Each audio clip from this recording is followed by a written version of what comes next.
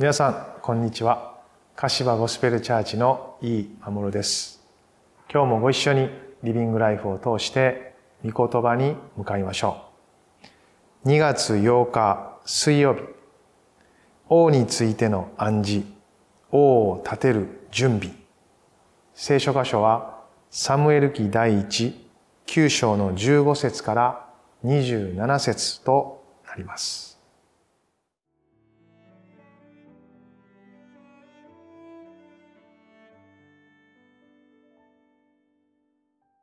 サムエル記第一九章十五節から二十七節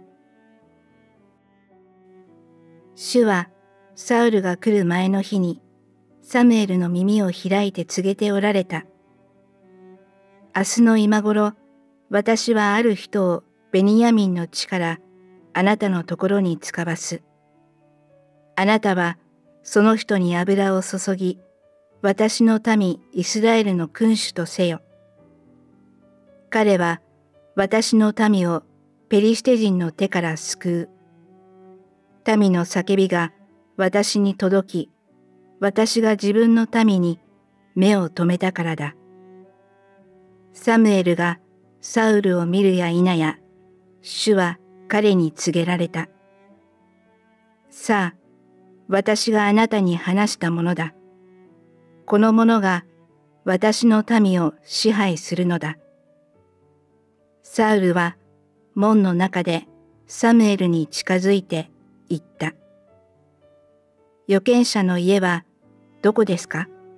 教えてください。サムエルはサウルに答えた。私が預言者です。私より先に高きところに登りなさい。今日、あなた方は私と一緒に食事をするのです。明日の朝、私があなたを送ります。あなたの心にあるすべてのことについて話しましょう。三日前にいなくなったあなたのメロバについては、もう気にかけないようにしてください。見つかっていますから。全イスラエルの思いは誰に向けられているのでしょう。あなたとあなたの父の前科にではありませんか。サウルは答えて言った。私はベニヤミン人で、イスラエルの最も小さい部族の出ではありませんか。私の家族は、ベニヤミンの部族のどの家族よりも、取るに足りないものではありませんか。どうしてこのようなことを私に言われるのですか？サムエルはサウルとそのしもべを広間に連れてきて30人ほどの招かれた人たちの上座につかせた。サムエルは料理人に取っておくようにと渡しておいたごちそうを出しなさいと言った。料理人はもも肉とその上にある部分を取り出し、サウルの前に置いた。サムエルは言った。これはあなたのために取っておいたものです。あなたの前に置いて食べてください。その肉は私が民を招いたと言って、この定められた時のため、あなたのために取り分けておいたものですから。その日、サウルはサムエルと一緒に食事をした。彼らは高きところから町に下ってきた。それからサムエルはサウルと屋上で話をした。彼らは朝早く起きた。夜が明けかかるとサムエルは屋上にいるサウルに叫んだ。起きてください。あなたを送りましょう。サウルは起きてサムエルと二人で外に出た。二人が町外れへと下っていたとき、サムエルがサウルに、しもべに私たちより先に行くように言ってください、と言ったので、しもべは先に言った。あなたはここにしばらくとどまってください。神の言葉をお聞かせしますから。15節にこんな風に書かれてありますね。主はサウルが来る前の日にサムエルの耳を開いて告げておられた。サウルだけでなく、サムエルの方にも神様の準備がなされていた。ま、相互に出会うわけですから、もちろんこの全てが神の摂理の御手の中にあった。そう言えるんですよね。前日に神様はこんな風に語っていたんです。16節明日の今頃私はある人をベニヤミンの地からあなたのところに使わす。あなたはその人に油を注ぎ、私の民イスラエルの君主とせよ。彼は私の民をペリシテ人の手から救う。民の叫びが私に届き、私が自分の民に目を留めたからだ。まあ、本当にこの神様の心、それが表されたような言葉をサムエルに語っておられたんですね。神様は王政そのものに対しては喜んではおられませんでした。しかし、イスラエルを愛しておられた。このところに私が自分の民に目を留めた。民の叫びが私に届いた。この表現は本当に神様がイスラエルを愛しておられる。どのような形になったとしてもなお彼らを導き、祝福し、彼らを本当にご自身の民として用いることを表しておられるそういう言葉だと思うんですね。17節サムエルがサウルを見るや否や、主は彼に告げられた。さあ、私があなたに話したものだ。この者が私の民を支配するのだ。まあ、お互いそれぞれが導かれてここに至ったわけですが、出会うや否やですね、神様の言葉が発せられるんです。歴史的な瞬間ですね。本当にこのイスラエルが一つの転機を迎えていくサウルとサムエルの出会いがここに記されてあることです。18節サウルは門の中でサムエルに近づいていった。預言者の家はどこですか？教えてください。19節サムエルはサウルに答えた。私が預言者です。私より先に高きところに登りなさい。今日あなた方は私と一緒に食事をするのです。明日の朝私があなたを送ります。あなたの心にあるすべてのことについて話しましょう。この後、サムエルはあの3日前に亡くなったメロバのことについてサウルに告げるんです。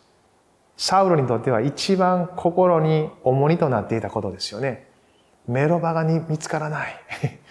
彼はそれを目的でここまで来たわけですから。でも神様の方では、そのメロバを見つけること以上のことを準備しておられた。しかしまずはサウルの心にあるその重荷を取り除いてくれたんです。ああ、そうなんやって。しかもサムエルにまだサウルはそのことを話していなかったにもかかわらず、サムエルはそのことを告げてくれたんです。神様の見てがサウルにすでに伸ばされている何かそんなことを思わせるような第一歩なんですよね。そしてサムエルはそのメロバのことを言いながらこんな風に告げてるんですよね。全イスラエルの思いは誰に向けられているのでしょうあなたとあなたの父の前科にではありませんか何かこう、彼らが特別に用いられていく、そのようにあるということをですね、サウルはほのめかしていくんです。あ、サムエルはほのめかしていくんですね。そしてサウルはこう答えるんです。21節私はベニヤミン人でイスラエルの最も小さい部族の出ではありませんか私の家族はベニヤミンの部族のどの家族よりも取るに足りないものではありませんかどうしてこのようなことを私に言われるのですかまあ割と有力な家だと聖書は先ほど告げていましたよね。この前のところでですね。でもサウルは、まあある意味で本当に謙遜に、いやいや、そんな風なこと言わないでくださいと。突然の出来事に驚きつつ、このような返答をしているんですね。サウル。この時点ではまだ王になる。何かそのような風格とかそういうものを感じさせるものはありません。むしろ何か小さく弱くそういう存在のようにも感じますねでも神様は大方そういう方を用いられますよね何か大丈夫かな？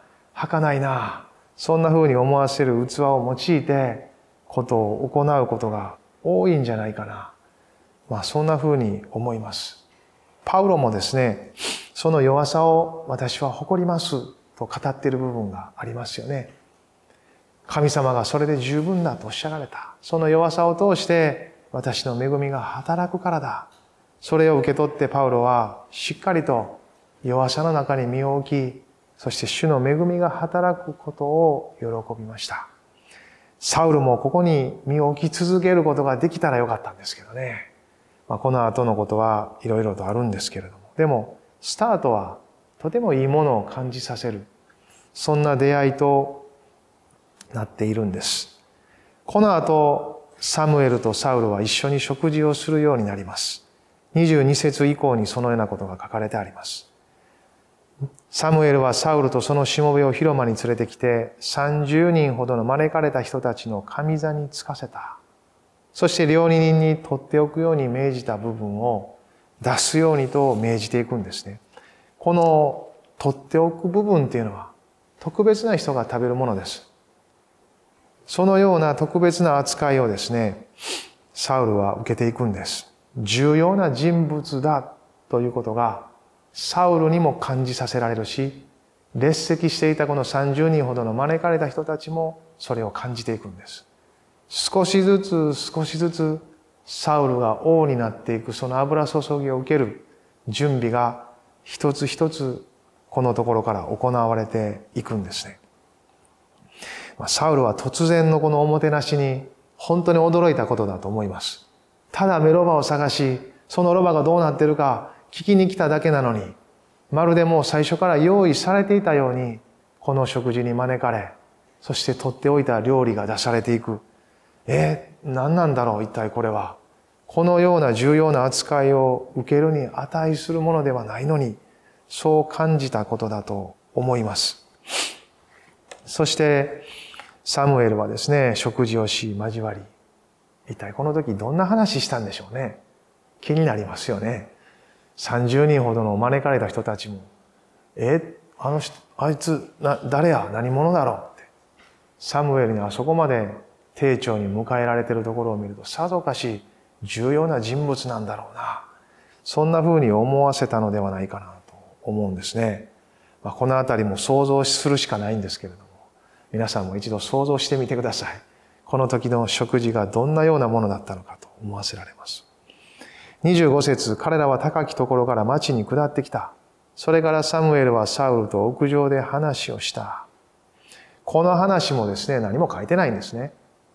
次の説では彼らは朝早く起きたとなりますから、割と夜遅くまで話したのか、長い話だったのか、どんな内容だったのか、よくはわかりません。でもサムエルは神様のことについて、神様に心を向け、主の選びやいろんなことについて、サウロに話し始めたんじゃないでしょうか。彼が王としての油注ぎを受けていく心の備えができるような、そういう会話を持って彼の心を作っていったのではないかなと想像できるんですね。そして26節で朝早くにサムエルはサウルを起こすんです。起きてください。あなたを送りましょう。サウルは起きてサムエルと二人で外に出た。二人が町外れへと下っていたとき、サムエルがサウルに、しもべに私たちより先に行くように言ってください。と言ったので、しもべは先に行った。あなたはここにしばらく留まってください。神の言葉をお聞かせしますから。いよいよ本題に入っていくんですね。ここからが本題なんです。そのための準備が一つ一つなされた。今日の箇所はその一歩一歩を辿っていきました。私たちも何か神様が準備されている導きの中に入っていこうとするとき、慌てる必要はありません。神様は心を備え、主が語り、導かれ、促すことを受け取れるように、私たちの心を備え、作ってくださる方ですね。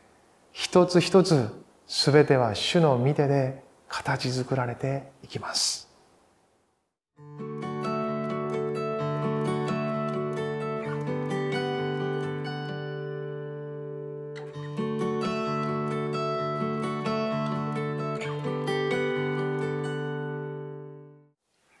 儚く弱くまだ何も持っていないようなものそういうものを主は選ばれることが多いように思いますサウルも最初はそうでしたしかし主の恵みによって彼は作られていったんですね。私たちの歩みもそういうものではないでしょうか。共に主の恵みに止まって神が導かれるそのところを一緒に歩いていきたいと願います。一言お祈りします。恵み深い天の父なる神様、あなたの豊かな恵みのうちに私たちをとどまらせ、主がなさる一つ一つのことに私たちを間に合わせてくださいますように、あなたの御言葉と御霊の働きに信頼します。主イエスキリストの皆によってお祈りします。アメン。